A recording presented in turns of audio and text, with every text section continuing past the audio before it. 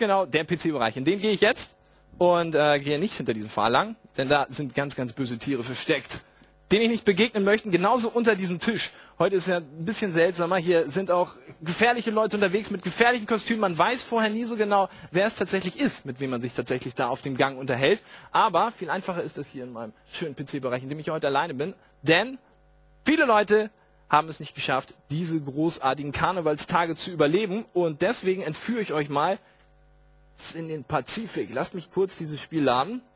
Wir haben es vorhin angekündigt, es geht um Silent Hunter 4. Und jetzt, wo es gestartet ist, werden wir gleich mal einen Genuss davon erleben. Von dieser Preview-Version, in der ihr natürlich noch nicht alles so ernst nehmen dürft, wie es da dargestellt ist. Denn einige Sachen werden noch ausgeklügelt, ausgebessert und ausgemerzt. So ist es nun mal in einer Beta-Version. Schauen wir uns doch einfach mal den Vorspann an, denn der ist auch äußerst interessant.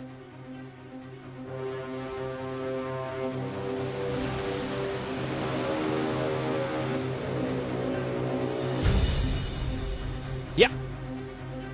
Silent Hunter 3 war ja bekanntermaßen der Vorgänger. Da muss man nicht unbedingt allzu schlau sein, um das zu erraten. Ubisoft Rumänien hat sich dran gemacht, dort weiter zu schrauben, um den vierten Teil endlich rauszubringen. Nächsten Monat ist es dann soweit. Ich bin mir relativ sicher, es wird circa um den 23. März sein. Dann könnt ihr das in den Läden begrüßen. Und falls einige von euch da draußen vielleicht immer noch ein falsches Bild haben von Silent Hunter 4. Es ist ja doch, was ist denn nun los? Ah, seltsam, bin ich gegen eine Taste gekommen? Ich weiß nicht genau. Es ist immer noch ein sehr, sehr, sehr schwieriges, simulantisches Spiel und verschrien als ja exzessive Nerd-Exkursion. Aber es kann doch relativ äh, vereinfacht werden und hat dort dann auch für den Casual Gamer einiges mehr an Spielspaß zu bieten. Wie genau das geht, zeige ich euch gleich mal. Der Realismus kann sozusagen an jedem einzelnen Punkt uh, eigens angepasst werden. Das ist sehr praktisch. Laden tut das Ganze natürlich auch. Aber so sieht's aus. Wir haben Quick-Missionen zur Auswahl. Und ich zeige euch erstmal die äh, grafischen Einstellungen. Die habe ich erstmal komplett hochgeschraubt. Muss jetzt hier aber nochmal eine Runde runtergehen.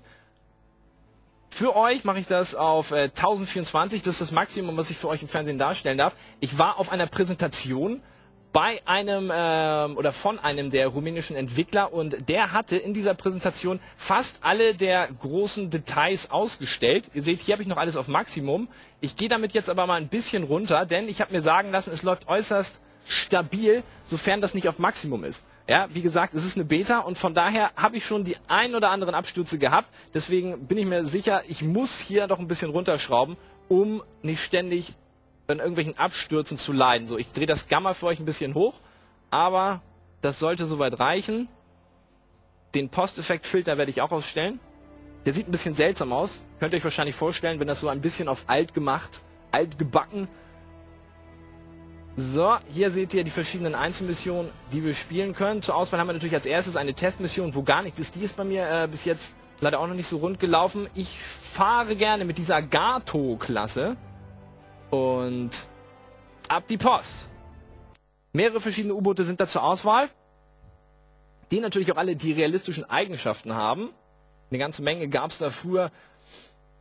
Viele wurden natürlich versenkt, aber U-Boote waren ja dazu da, dass sie eigentlich die anderen Schiffe versenkt haben. Sehr gefürchtete Gefährte, auch unter Wasser. Und äh, das ist ein verdammt interessantes Feeling, so als U-Boot-Kapitän. Ähm, ich kann natürlich jetzt nicht aus eigener Erfahrung sprechen, das tut mir furchtbar leid. Aber ich äh, war zufälligerweise doch auf einem U-Boot mal und kann mir vorstellen, wie ungefähr das gewesen sein muss, wenn man da so sechs Monate auf hoher See ist. Man darf meistens nur eine maximale Körpergröße von 1,65 Meter haben oder sowas in der Richtung. Und von daher viele kleine Heinzelmännchen auf einem U-Boot versuchen, andere böse Schiffe zu versenken. So stellt man sich das vor, mit äh, Ölgeruch, Männerschweiß und irgendwelchen, ver, ver, äh, ja, keine Ahnung, gammelten Essenssachen, die man ja auch nicht mal eben so unter Wasser über Bord schmeißen kann. Denn bekanntermaßen war man ja unter Wasser. Das ist nicht ganz so einfach. Wir schauen jetzt mal rein. Und ich hoffe, ich fange nicht sofort an zu singen. Der Realismusgrad ist jetzt, äh, Realismusgrad ist jetzt momentan noch relativ realistisch gestellt. Deswegen sollte man als erstes mal unter Wasser gehen. Aber schauen wir mal rein. Es scheint jetzt doch langsam mal loszugehen. Oh, Beta, bitte, lieber Beta-Gott. Lass mich teilhaben an diesem großartigen Spiel. Er scheint uns nicht wohlgesonnen zu sein, aber wir können ihm vielleicht ein Opfer bringen. Ah. Langsam geht's doch von selber los.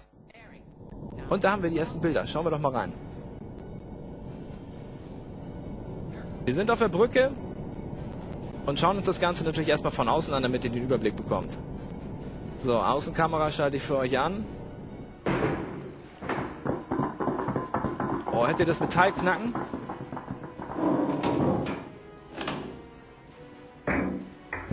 Unsere Wassertanks werden geflutet. Sehr schön sieht das aus. Ihr werdet jetzt bei Silent Hunter heute nicht unbedingt viele Explosionen sehen, nicht viel Action, nicht viele Luft- und Wasserangriffe, sondern doch eher viel Schleichen, viel Fahren und viel Atmosphäre. Stellt euch darauf ein, ich gehe jetzt mal auf 20 Meter Tiefe. Meine Kollegen äh, flüstern auch schon.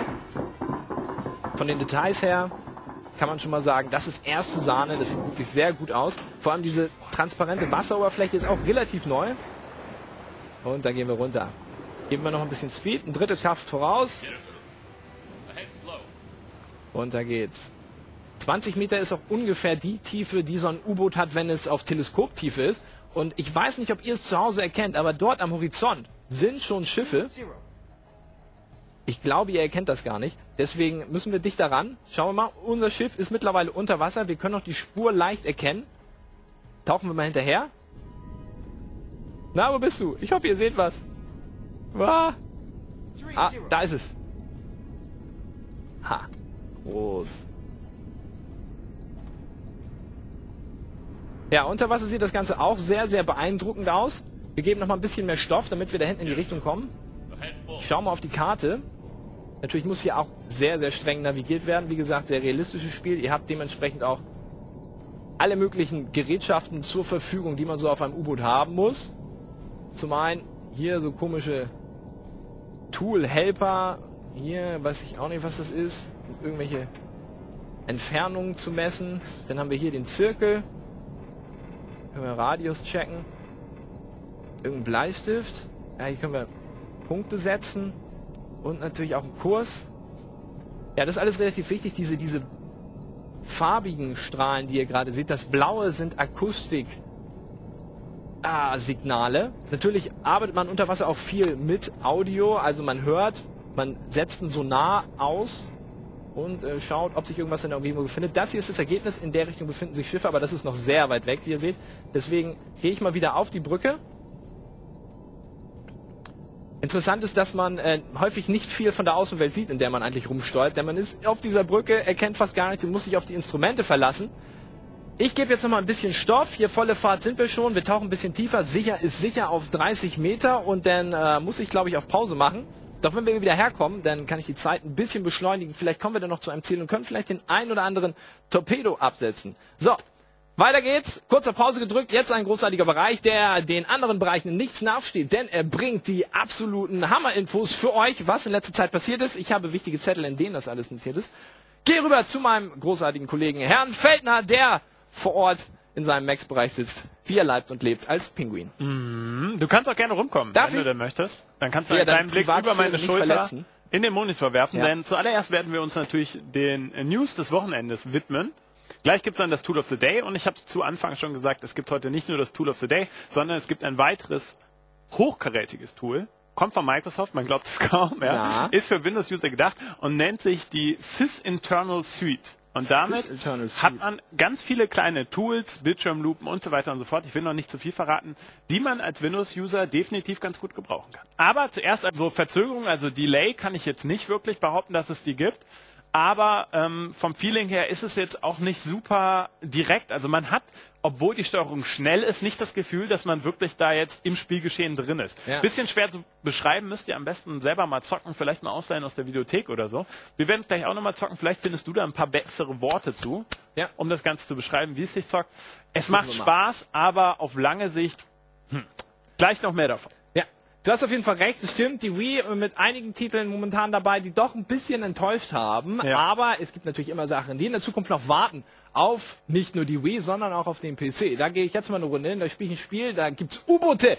Davon gibt's sehr, sehr wenig, aber im PC-Bereich heute massig davon. Wir steuern gerade eine Gato-Klasse im Pazifischen Ozean und zwar in der Nähe der Küste Ja, wenn es äh, überhaupt eine große Küste gibt, Japan sozusagen. Eigentlich kennt ihr ja das ganze Stress gab's doch bei Pearl Harbor und bei Midway und äh, das Ganze weitet sich dann aus um den Pazifik und momentan sind wir mittendrin in der Suppe. So, schauen wir mal von draußen. Ich habe vorhin gesagt, erwartet nicht allzu viel Action jetzt, sondern versucht euch einfach mal vertraut zu machen mit der Atmosphäre und mit den Features, die das ganze Spiel hat. Denn dadurch, dass es natürlich so realistisch ist, habt ihr sehr viele schöne Möglichkeiten. Und während ich hier mit voller Kraft unter Wasser, was natürlich dort extrem langsamer ist, als würde ich über Wasser fahren, ähm, irgendwie in Richtung Nordosten tucker, weil man dort am Horizont Schiffe erkennt, werde ich euch mal ein paar Buttons zeigen. Vielleicht gehen wir doch nochmal zu Demonstrationszwecken an die Oberfläche, da kann ich euch nämlich mehr zeigen. So, tauchen wir mal auf. Das sieht sehr cool aus. Dann nehmen wir uns jetzt mal die Zeit, um diesen Auftauchvorgang mal genau unter die Lupe zu nehmen. Schnell raus aus dem Wasser. So wirklich transparent ist das Wasser jetzt auch nicht. Na, wo bist du, Schiffchen? Irgendwo muss es jetzt auftauchen. Na? Wie langsam du auftauchst, das gibt's doch gar nicht. Da bin ich genau. Gucke ich in die falsche Richtung? Ich dachte, das war hier. Oh, wie krass. Der verarscht mich mein eigenes Schiff. Ich sag auftauchen und es kommt nicht. Ja, das gibt's nicht. Warte, ich spring mal hin. Das kann ja nicht sein. Ah, da kommt's, da kommt's, da kommt's. Dauert doch ein bisschen länger. Ah, dauert durchaus einiges. Komm schon, höher. Zack. Yes, sir. New deck. Three. So, und noch höher. Wir müssen natürlich aufpassen. Wenn wir das tun, ist es kein kluges Handeln. Natürlich sehen uns dann die Schiffe, die dort am Horizont jetzt langsam auch immer besser sichtbar werden. Oh, sehr gut. Ich vermisse generell manchmal bei Spielen ein Feature, was hier bei Silent Hunter doch sehr, sehr klar irgendwie dargestellt wird, nämlich wenn, wenn es richtig mächtige, große, schwere, langsame Einheiten sind. Viele äh, Spiele machen sie dann einfach nicht groß und langsam. Ja, das sind dann man, bei irgendwelchen Spielen ganz, ganz fixe, seltsame Schiffe oder Fahrzeuge, denen kann man gar nicht abnehmen, dass sie so mächtig sind, aber hier tut man das auf jeden Fall. Und jetzt kann ich ja zum Beispiel mal vorne raufgehen und hier meine Flugabwehrkanonen bedienen. Wir haben mehrere davon, hinten haben wir auch noch so ein Teil.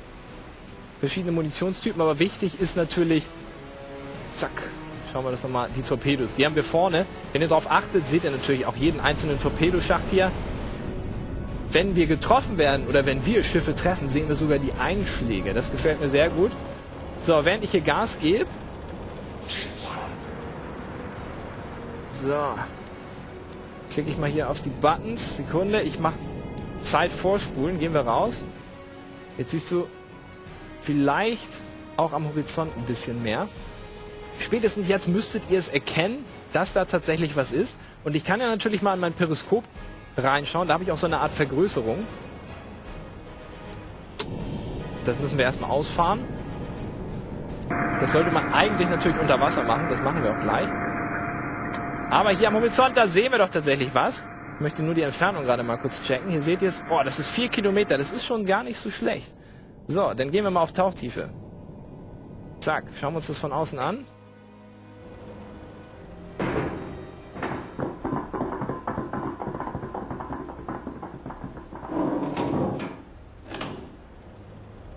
So mag sich das anhören. Das nehme ich dem Spiel eindeutig ab. Und ich hoffe, die da hinten, ja doch, die werden mich auf jeden Fall schon gesehen haben. Und das haben sie auch. Denn ähm, ich kann zumindest hier auf meinem Monitor erkennen, dass sich zwei Schiffe von dort gelöst haben und auf meine Position zu steuern.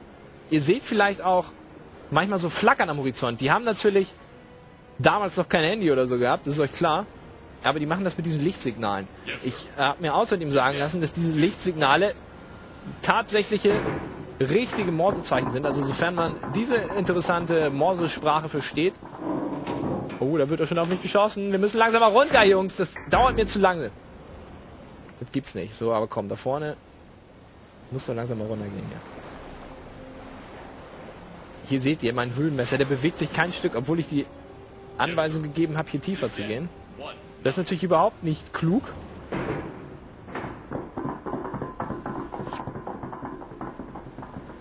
Komm, geh runter. Beweg dich, Höhenmesser.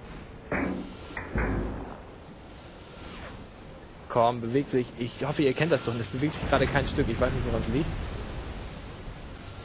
Komm schon, runter. Runter, runter, runter. Okay, gehen wir mal auf 30. Vielleicht versteht er 20 nicht. Okay, die sind übrigens sehr, sehr schlau, die Jungs von der KI da. Das Problem ist, dass wenn sie jetzt mich einmal gesehen haben, können sie meinen Kurs vorher berechnen. Ich müsste jetzt Ausweichmanöver vollführen, verschiedene Höhenwechsel vornehmen, aber ich bin natürlich auch nicht das Schnellste. U-Boote sind ein bisschen lahm. Tada, so jetzt kommen wir langsam, gewinnen wir doch an Tiefe. Die sind verdammt schnell und ich kann ja mal rangehen, damit ihr euch ein so ein Model mal genauer ansehen könnt. So, hier mit der Shift-Taste mache ich das schneller. Zack, da wären wir. Die Japaner, ja. Da schießen sie auf mich. Sieht schon sehr realistisch aus. Interessant ist natürlich, falls ihr äh, wisst, wie es auf dem U-Bahn läuft, bevor man ein Torpedo abgibt, muss man natürlich ein Ziel, ein Ziel erkannt haben und äh, das reicht nicht nur, indem man irgendwie einen schwarzen Fleck am Horizont erkennt. Man muss es vorher identifizieren. Da gibt es dann neben äh, dem Periskop normalerweise so ein Heftchen, wo die ganzen Schiffstypen, die bekannten, abgebildet sind. Und dann muss man vergleichen und schauen, was für ein Schiffstyp hat man, um dort die Schwachstelle, die Geschwindigkeit, Tonnage und was auch immer festzustellen. Und ich glaube, bevor wir jetzt hier aus dem Take rausgehen, versuche ich einfach mal auf gut Glück ein Torpedo abzufeuern. So, das kommt frontal auf mich zu. Ist natürlich alles andere als optimal. Ich glaube, ich werde down gehen, aber das macht absolut nichts. Ich feuere jetzt einfach mal mal sehen, was passiert. Ich bin hier auf, bei der Zielerfassung auf einfach geschaltet. Feuer Torpedo 1 und Feuer Torpedo 2. So. Ihr seht links in diesem kleinen Fenster, wie es gerade losgeht. Ich tauche derweil mal. Uah,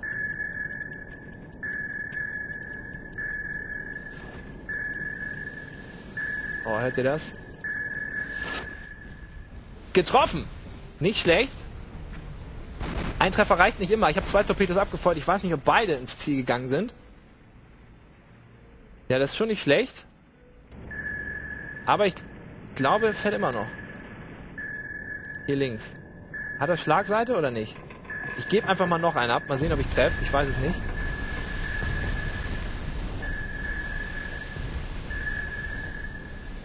Wir werden natürlich auch permanent gepinkt. Die wissen, auch wenn wir jetzt untertauchen würden, wo wir sind.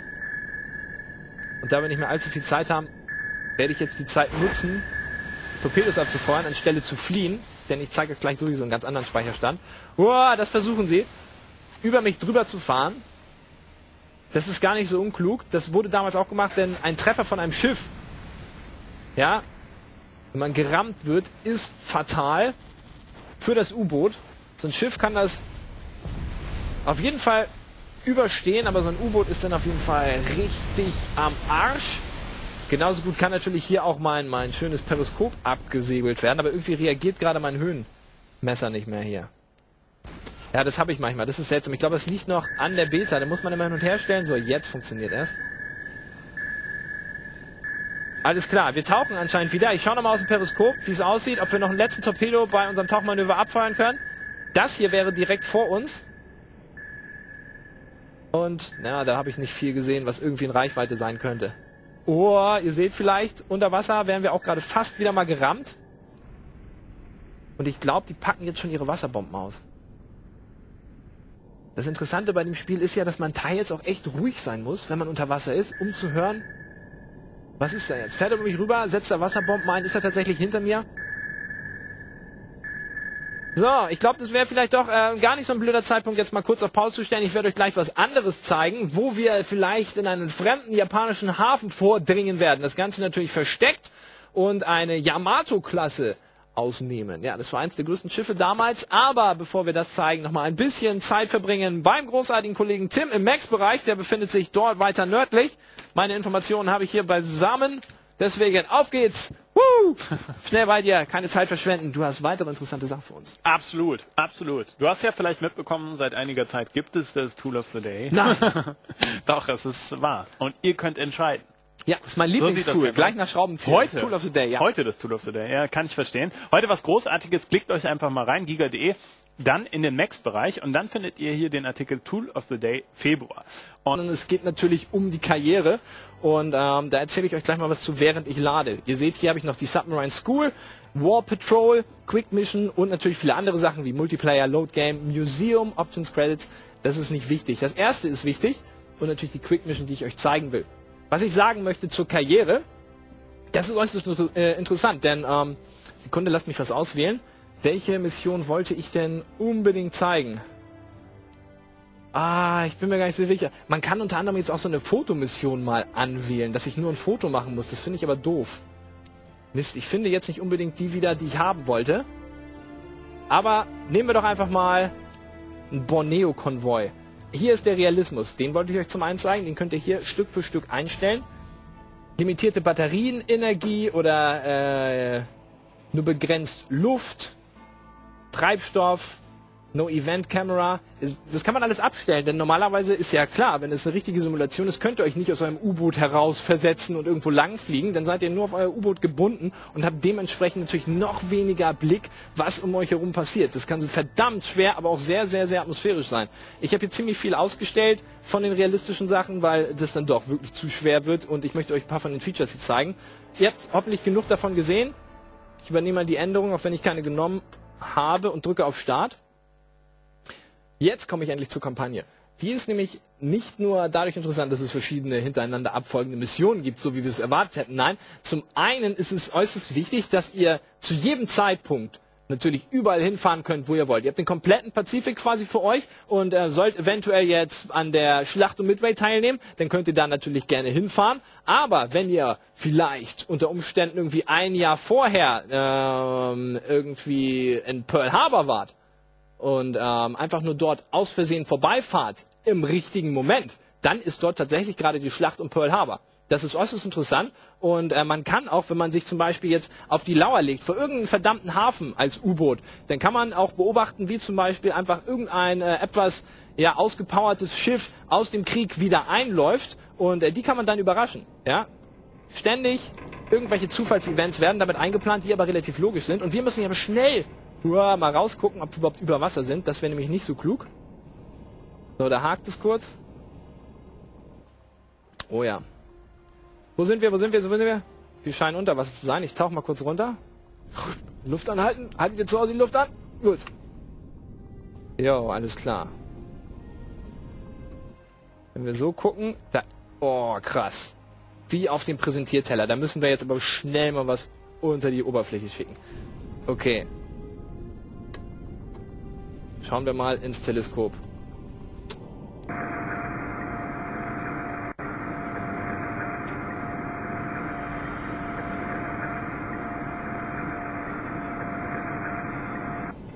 So. Hier sehen wir, oh, das ist wie auf dem Präsentierteller, sehr schön. Ein paar Geräte mit einschalten.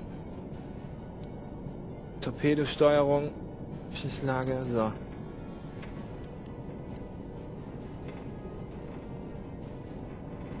Wir sehen oben immer ein paar Meldungen eingehen.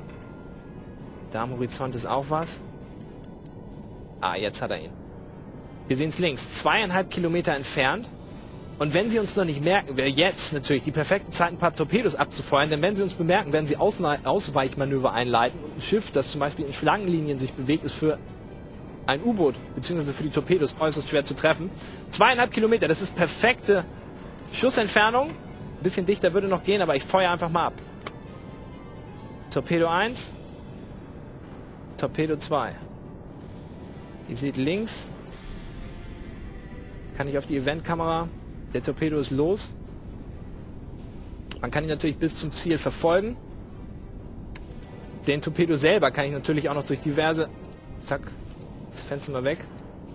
Einstellung hier verändern, die Geschwindigkeit kann ich zum Beispiel auf hoch stellen, das wäre vielleicht gar nicht so blöd. Und in der Zwischenzeit feuere ich auf das nächste Schiff.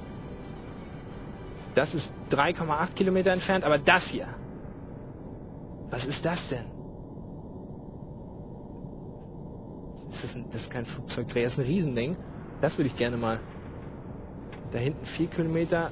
Ah, das wurde auch erkannt, denn ich habe momentan diese Aktu äh, automatische Schiffserkennung eingeschaltet, dass ich nicht selber in äh, irgendwelchen Beschreibungen nachschauen muss, welches Schiff das ist, um ähm, vielleicht auch den Winkel und die Geschwindigkeit des Torpedos zu berechnen. Dafür habe ich jetzt leider keine Zeit und wahrscheinlich auch nicht das Know-how. Ich kenne das noch aus dem dritten Teil. Das war verdammt schwierig. Ich habe das hier alles auf automatisch. Das macht natürlich mehr Spaß, wenn man das richtig macht. So! Oh, das fette Ding hole ich jetzt. So. Torpedo 1.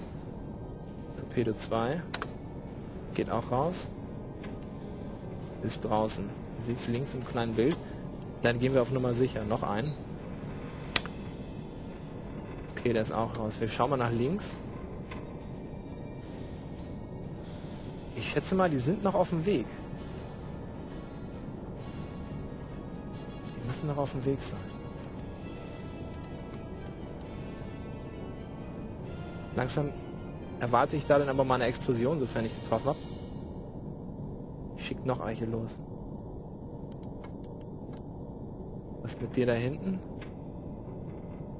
Ich überstürze es jetzt halt auch ein bisschen, um euch möglichst viel zu zeigen. Natürlich würde es alles viel, viel langsamer dauern und ich würde nicht verpassen, wenn ein Torpedo tatsächlich das Schiff treffen würde. Das wäre ein No-Go. Und ähm, warten wir mal ab. Kann das sein, dass der den Kurs wechselt? Man kann teilweise, das habe ich in einigen Filmen natürlich auch schon gesehen, Torpedos unter der Wasseroberfläche kommen sehen. Ich hoffe, das ist hier nicht der Fall. So, was los? Triffst du mal oder triffst du nicht?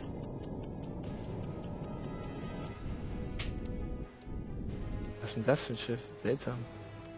Kann ich die mal durchschalten? Ich komme jetzt aber nicht zu dem Schiff, zu dem ich eigentlich möchte. Deswegen schaue ich mal wieder an mein Periskop. Seltsam. Irgendwie schlagen die Torpedos nicht. Ach, da ist ja auch das Schiff. okay. Hier ist vor mir, wenn ich jetzt hier weiter nach links auf das wieder ziele, müssen die Torpedos eine ganz schöne Kurve nehmen. So, jetzt aber 2,7 Kilometer. Ich fahre jetzt nochmal alles ab, was ich hier habe.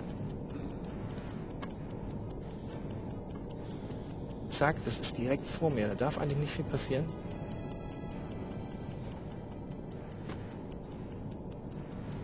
Ja. Ich werde angehalten, doch äh, langsam den Bereich zu wechseln, denn wir kriegen ja nasse Füße irgendwie scheint da... Ah, hört ihr das?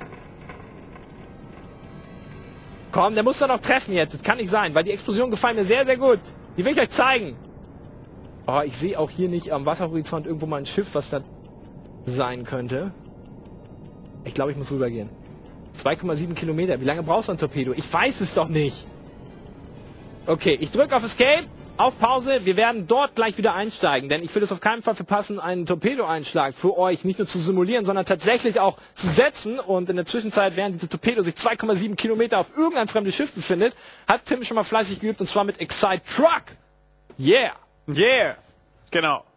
Wir haben eingangs schon gesagt, das Ganze kommt, wie könnte es anders sein, von Nintendo und ist grafisch, wenn man die Wii mal so betrachtet, eigentlich eins der Ansprüche. Da hinten! Da hat was gesessen. So, jetzt dürften sie spätestens aufgescheucht sein. Ah, schade. Das hat aber... Oh, da trifft noch was. Jawohl! Mist, wieso kann ich nicht zu der Dingsbums-Kamera gehen? Immer zu denen. Das, das irritiert mich jetzt ein bisschen. Da möchte ich auch nicht rein. Gehen wir mal hier. So, und fliegen da mal hin. Da seht ihr es. Oh, da ist auch krass. Wir haben irgendwie einen sehr verwundbaren Teil des Schiffs anscheinend getroffen. Ich würde mal sagen, das Munitionslager. Dementsprechend dürfte dieser kleine japanische Kutter, ich glaube, es ist gar kein Kriegsschiff. Ups. Jetzt sinken.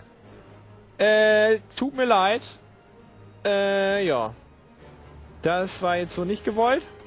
Schauen wir mal, wie das unter Wasser aussieht. Sind da Löchers? Oh ja. Hier ganz dick. Und oh hier. Und da geht es runter. Ah! So viele kleine japanische Kinder, die mir mein Spielzeug jetzt nicht mehr herstellen können, gehen da down. Ja, schade. Aber der Krieg ist grausam. Ich habe noch andere Schiffe getroffen, die hoffentlich tatsächlich aktiv an Kampfhandlungen teilnehmen werden. Nicht wie dieses sinkende Schiff, was äh, eigentlich schon weg ist, als wäre es nie da gewesen. Da. Ihr seht übrigens, dort treiben noch Trümmerteile. Jetzt finde ich natürlich hier in dem ganzen Gewusel mein U-Boot nicht mehr wieder. Aber mir wäre so, als habe ich den nicht getroffen. War das der? Das ist auch wieder so eine Art Kutter. Habe ich da auch drauf geschossen? Guck mir mal einen Rumpf. Ja, das ist noch ganz. Wen habe ich denn noch getroffen? Irgend so ein dicker Knaller war das. Ich zoom mal zurück zu meinem Schiffchen. Zack, raus. Das müsste dann immer direkt unter mir sein. Uah, ja, da ist es. Sehr schwer unter Wasser zu, sich zu orientieren. Schauen wir, in der Richtung haben wir geschossen. Das war auf das Schiff. Oder? Zack. Nee, das ist auch noch ganz. Ich glaube, wir haben es versenkt, oder? Leute, seid ihr auch der Meinung da draußen? Wir haben es versenkt, weil die Rümpfe hier sind doch relativ noch in Ordnung. Schauen wir mal, vielleicht kriegen wir noch einen Treffer irgendwo hin. Das oh, ist direkt vor uns. Oh, super. Das Ticken zeigt aber eigentlich an, dass noch irgendwo ein Torpedo unterwegs ist. Aber jetzt der nächste. Diesen Tanker, wenn ich ihn mal so nennen darf. So, zwei. Fahren los. Auf die Entfernung, das sind 1,6 Kilometer, müsste auf jeden Fall ein Treffer drin sein. Das wäre natürlich sehr schön. Zur Sicherheit schicke ich noch einen dritten hinterher und weg. So, drei Torpedos für diesen Tanker, das muss reichen. Ich glaube, ich habe schon mindestens ein, zwei Mal getroffen. Ich kann natürlich in der Zwischenzeit mal äh, schauen, was meine Torpedos denn so machen. Hier seht ihr euren aktuellen Stand der Dinge in Sachen Bewaffnung. So ein zwei Tonnen schweres, fettes Torpedo-Ding, davon hast du insgesamt zehn, sagen wir mal zwei Dutzend. Und dementsprechend musst du noch viele andere Sachen managen. Kann, könnt ihr euch vorstellen, verschiedene Räume mit verschiedenen Besetzungen, verschiedenen wichtigen Systemen, die Schaden nehmen können und natürlich haufenweise Crewmember, die alle verschieden erschöpft sind, je nach dem Einsatz und nach ihrer Schicht aufgeteilt auf verschiedene Bereiche. Und jetzt folgen wir doch mal. Schauen wir wieder mal, was. Komm, das muss doch treffen. Das ist es, oder? Das ist es. Oh, da habt ihr den Torpedo gesehen? Da ist er. Oh, da sieht man ihn. Aber der geht vorbei, oder was? Nee, der geht nicht vorbei. Bitte triff. Oh, der trifft. Seht ihr das? Oh, das wird gut. Komm bitte. Da funktioniert jetzt auch links dieser Eventmonitor. Natürlich kurz vom Einschlag wird nochmal darauf aufmerksam gemacht. Und jetzt der sitzt, oder? Ich habe aber drei abgefeuert.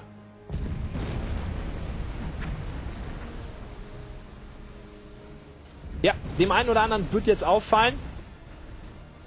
Volumetrischer Rauch.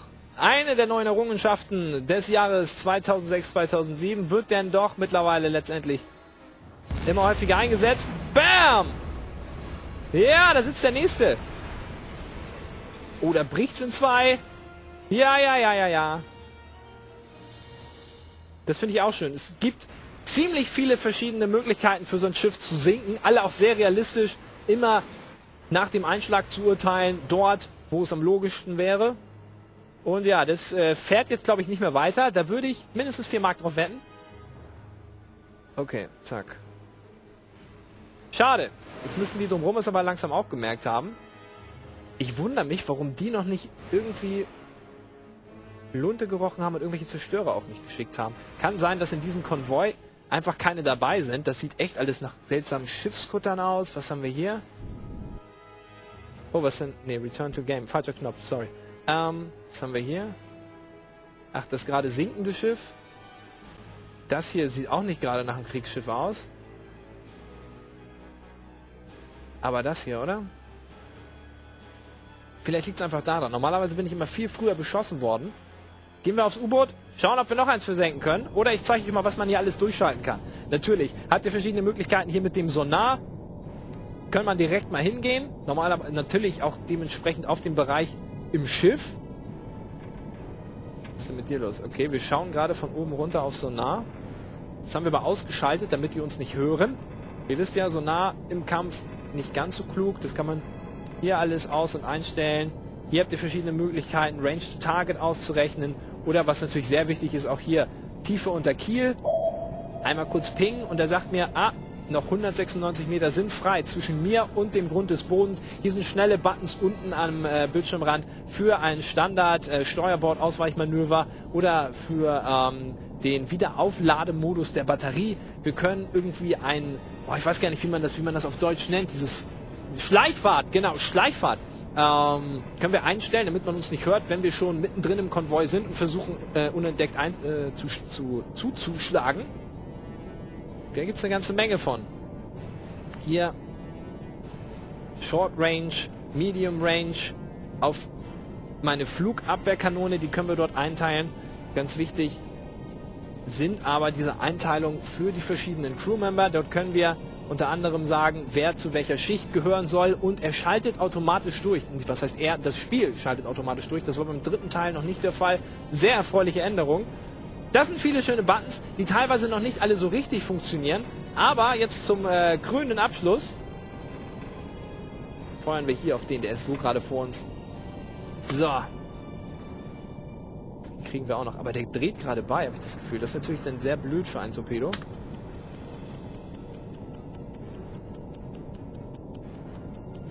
Da ist noch eins. Das scheint mir sogar noch dichter. Das ist 2,8 Kilometer. Hier haben wir 1,9. Du kriegst auch noch mal was. Wie ihr seht, hier rechts haben wir auch noch Torpedos für hinten. Und es ist gar nicht so einfach, das Leben eines Torpedos, beziehungsweise eines U-Boot-Kapitäns, meine ich natürlich. Denn ähm, man kann einfach nicht zu den Seiten feuern. Man muss versuchen immer, sich von der Seite anzunähern, um dann eine 90-Grad-Wendung zu machen, um frontal auf die Seite des gegnerischen Schiffes zu zeigen. Das ist gar nicht so einfach, weil U-Boote ja bekanntermaßen sehr langsam sind. Beziehungsweise vielleicht ist ein, nicht einfach das falsche Wort, sondern es dauert einfach verdammt lange teils. Erstmal einen kompletten Konvoi zu überholen. So. Alles klar, jetzt haben wir fast alle unsere Torpedos abgefeuert. Hier abwechselnd schicken wir nochmal einen nach links und rechts. Das ist jetzt gerade nicht realistisch, aber ich habe euch gesagt, ich habe es auch ausgestellt. So.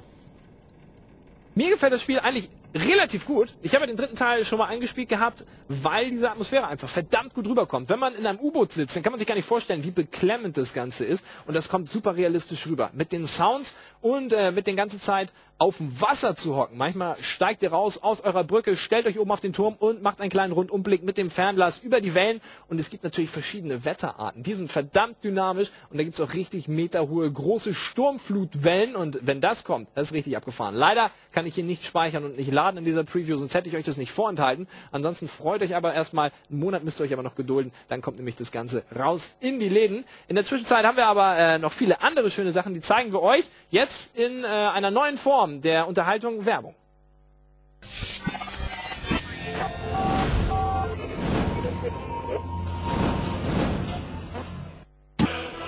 Einst fragte Gott die Steine, Steine, wollt ihr U-Boot-Kapitäne werden? Doch die Steine antworteten nein, denn wir sind nicht hart genug.